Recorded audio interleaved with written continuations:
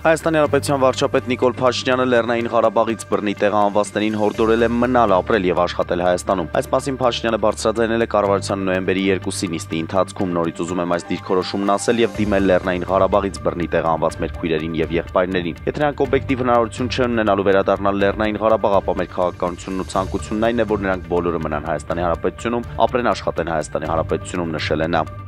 Հունաստանը մարդասիրական օգնություն է ուղարկել Հայաստան Լեռնային Ղարաբաղից տեղահանված անձանց համար։ Այս մասին տեղեկացրել է Հայաստանի Հանրապետությունում Հունաստանի արտակարգ եւ լիազոր դեսպան Էվանգելոս Տորնիկասը։ Նա մասնավորապես հայտնել է, որ հունական կողմն այսօր Հայաստանի կառավարությանն է հատկացրել 4 տոննա քաշով հումանիտար բեռ Երևանի ժամանել նաեւ հատուկ մասնագիտացված մարդկանց խումբ, բաղկացած հոգեբաներից եւ սոցիալական աշխատողներից, ովքեր հոգեբուժական աջակցություն կցուցաբերեն Լեռնային Ղարաբաղից, տեղահանված անձանց, ովքեր դուժել են հումանիտար ճգնաժամից։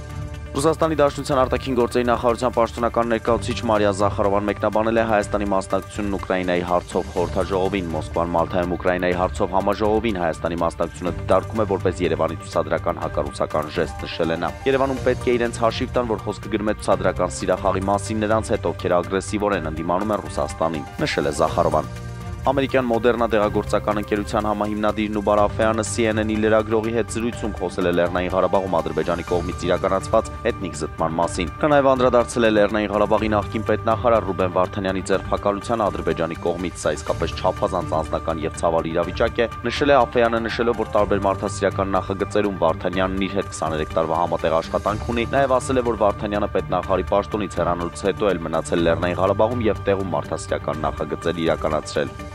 Իսրայելի կողմից Գազայում եւ Լիբանանում սպիտակ ֆոսֆորի օգտագործումը ստուգվել է Amnesty International միջազգային իրավապաշտպան կազմակերպության կողմից։ Նշվում է, որ կազմակերպությունը տեղորոշել է Գազայի եւ Լիբանանի նկատմամբ այդ զենքերի կիրառման կադրերը եւ խոսել է բժիշկների հետ, որոնք Լիբանանում 9 հոգու բուժել են սպիտակ ֆոսֆորի վնասվածքներից։